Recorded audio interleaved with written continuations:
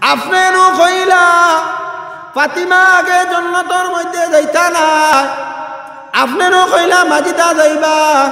কিন্তু আমি মাজিদার ঘর গিয়া দেখলাম গিয়া দেখলাম আমার যে আমল, মাজিদার সেই আমল। আমার যে কোরআন পড়নেওয়ালা, দেখলাম মাজিদা কোরআন পড়নেওয়ালা। সব দেখলাম আমার মতন।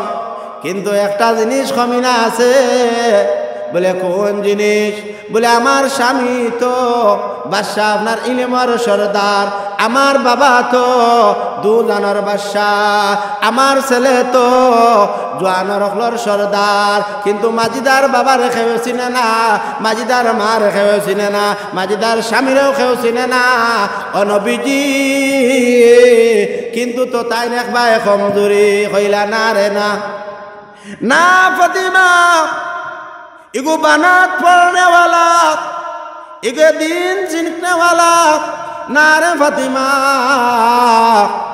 ইকান খইস না আমি খইয়া দে ও সময় ফাতিমায় আপনার নবীজির হাতের মধ্যে ধরলা ধরিয়া কইলা ইয়া রসুল আল্লাহ আপনি যদি কইন না আমি ফাতিমা মারা যাইমু কইলা টাম টাম ও ফাতিমা কাল কিয়ামতর দিন আমি আল্লাহ রসুলে দেখনেওয়ালা কত মানুষ পাগল রইবা।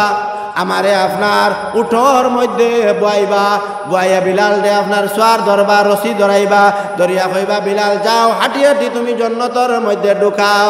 বাহান আল্লাহ এখন আপনি কইন চান রশি ধরনেওয়ালা আগে ঢুকে নি না গুড়ার উপরে বনেওয়ালা আগে যায়, আপনারা ফতুয়া দেন, রশি ঢুকনেওয়ালা।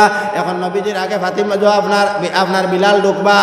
সেই মইভাবে আপনার মেয়ে কল পাগল রইবা?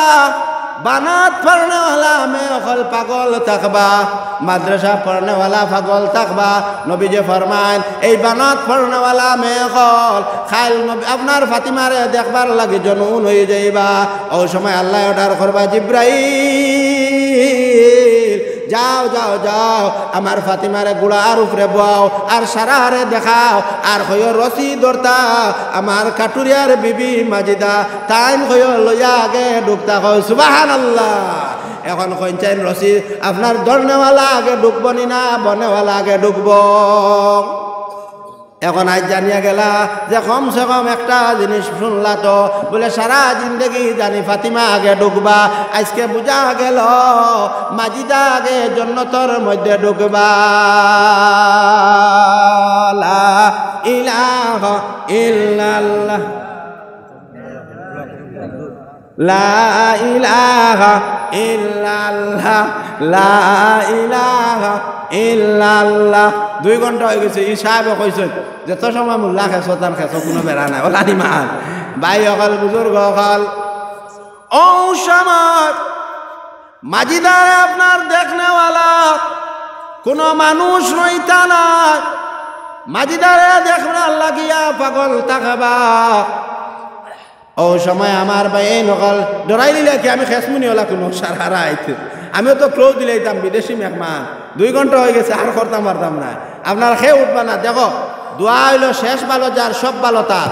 আপনারা যদি দোয়া লইয়া যাই না, তে কিন্তু আপনারা বিপদ হইব বা আপনারা বরবাদ হইব। কারণ ডালির মজা মুরো মাত বুঝা গেছে নি। কম তো কম তো কাছাড়ে মেসাওয়ার দোয়াটা লইয়া যাইতা ইলাহা ইল্লাল্লাহ।